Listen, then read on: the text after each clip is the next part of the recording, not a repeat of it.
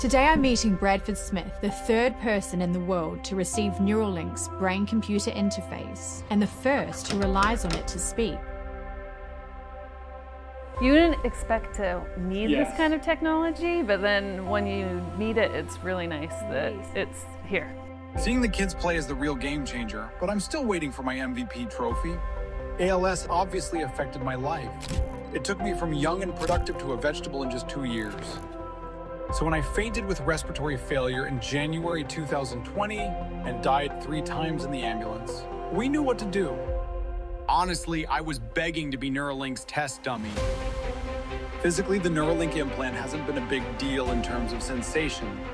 It's just there, a tiny computer in my skull with 1,024 electrodes reading my brain.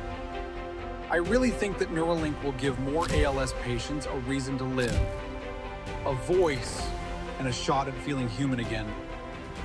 What does this milestone of you having the Neuralink mean to you personally? It means that I am back.